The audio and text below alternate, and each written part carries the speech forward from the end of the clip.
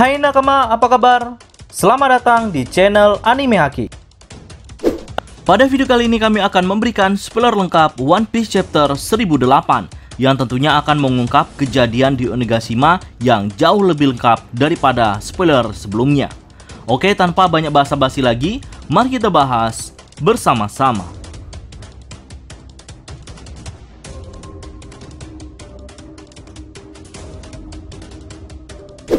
Judul pada chapter kali ini adalah Asura Doji, bos rampok Atayama. Seperti yang kita ketahui pada spoiler sebelumnya, Asura Doji menjadi penyelamat dari Akazainen. Dan cover story kali ini masih request dari fan One Piece, yaitu Robin dengan kemampuan buah iblisnya menumbuhkan sayap pada kuda-kuda yang ada di sekitarnya.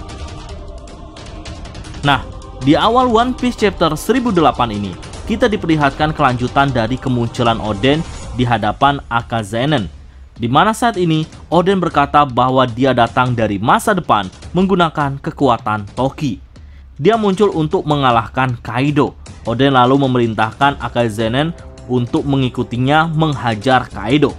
Kinemon dan lainnya menangis dan berkata akan mengikuti Oden apa pun perintahnya dan tidak ada sedikit pun rasa curiga dari kemunculan Oden ini kecuali Asura Doji dan juga Raizo. Yang mana Asura Doji langsung menghentikan Kinemon dan lainnya, dia berkata Oden itu pasti palsu. Raizo setuju dengan perkataan Doji. Raizo mengingatkan Kinemon pada perkataan Toki bahwa seseorang tidak bisa kembali ke masa lalu. Raizo berteriak bahwa Oden sudah mati dan itu adalah fakta yang tidak bisa dirubah. Saat sesama Akazanen sedang berdebat, Oden diam-diam mengacungkan pedang pada Kinemon dari belakang. Asura Doji mengejek Kinemon yang tak mau percaya pada dirinya. Asura Doji langsung menonjok kepala Kinemon dan menendang Oden palsu. Lalu ia merampas pedang yang dipegang oleh Oden palsu dan langsung menebasnya dari depan. Hal itu membuat Oden terbelah tapi tak berdarah. Ternyata itu cuma lukisan Kanjuro. Asura Doji berteriak bahwa dia mengerti perasaan Kinemon yang saat ini menangis atas tindakannya. Dia juga ingin Oden hidup lagi. Kiku lalu meminta maaf dan berkata dia seharusnya membunuh Kanjuro saat itu, tapi dia tidak bisa melakukannya karena masih menganggap sebagian rekan yang dibina oleh Oden sejak kecil. Asura Doji menghibur Kiku dan berkata bahwa pedang yang diayunkan pada teman selalu terasa tumpul. Denjiro bangkit melawan Oden palsu, sementara Akazen lain mencoba mencari Kanjuro. Oden palsu berkata sia-sia saja mereka mencari tubuh aslinya. Kanjuro berada di tempat yang jauh mengendalikan gambar-gambarnya.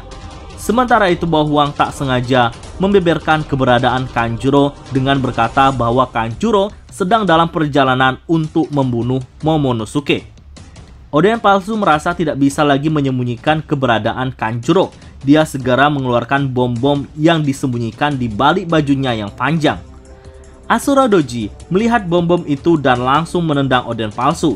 Ia langsung memerintahkan Kinemon dan lainnya untuk segera mencari Momonosuke. Sementara itu, Asura Doji meledak karena berusaha menyelamatkan rekan-rekannya.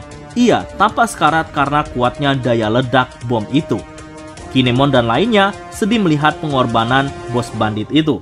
Mereka segera keluar dari ruangan untuk mencari Momonosuke. Tapi Jack menghadang mereka di pintu keluar.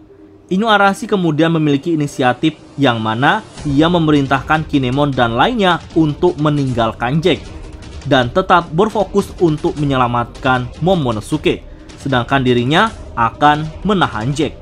Lalu Jack mengejek Inu Arasi dan berkata bahwa tidak ada lagi bulan purnama untuk menolong para Ming dalam berubah wujud ke bentuk sulong. Inu Arasi balik mengejek Jack dengan berkata bahwa Jack tak punya lagi senjata gas yang dia andalkan seperti saat di Pulau Ming.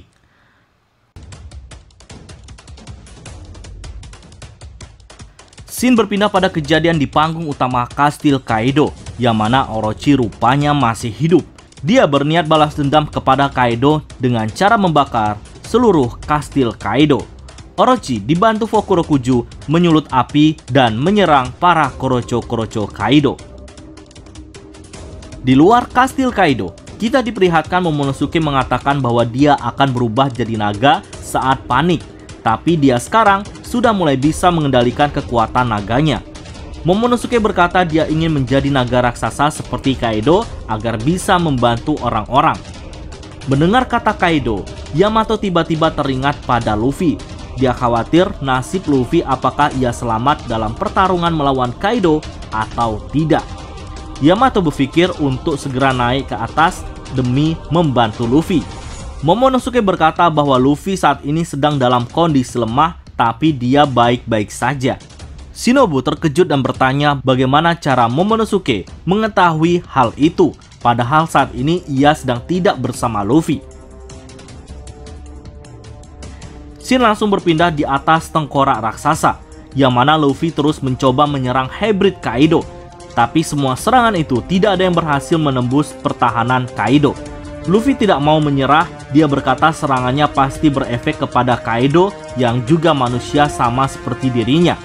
Zoro berkata pada Luffy untuk mencari cara lain menyerang Kaido. Killer ketawa dan bertanya kepada Luffy, bisa-bisanya menyebut Kaido sebagai manusia normal. Law berkata bahwa mereka harus mencoba memisahkan Kaido dan juga Big Mom. Zoro rupanya menyetujui ide dari Lau. Kid menatap Kaido lalu berpindah menatap Big Mom. Dia kemudian berkata ini seperti neraka saja.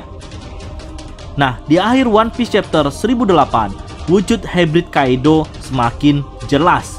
Dia terlihat lebih mirip manusia daripada naga. Namun, tangan, kaki, dan wajahnya lebih besar dari ukuran normal dan terlihat lebih garang. Luffy berkata dia sudah biasa merasakan neraka, jadi tidak masalah kalau dia menghadapi neraka lagi.